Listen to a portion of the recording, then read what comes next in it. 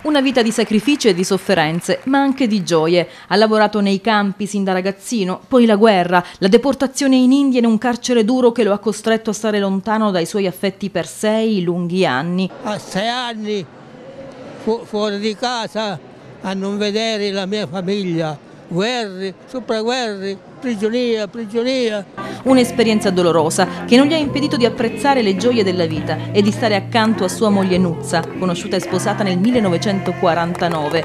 Da quell'unione sono nati cinque figli, quattro nipoti e altrettanti pronipoti. È la storia di Giuseppe Meridoni, che ieri, nella sua Briatico, ha festeggiato il secolo di vita. Una chiesa gremita di amici e parenti venuti da lontano per il compleanno di nonno Peppe, emozionato di vedere così tanta gente intorno a lui. Ma qual è il segreto della sua longevità? Glielo abbiamo chiesto. Ecco cosa ha risposto. Oh, sapere tu,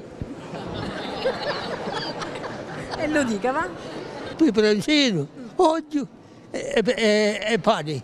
Dopo la targa ricordo consegnata dal sindaco del comune costiero del Vibonese, sono iniziati i festeggiamenti in piazza. Ad aprire le danze, il festeggiato. Da Briatico per la CNews 24, Cristina Iannuzzi.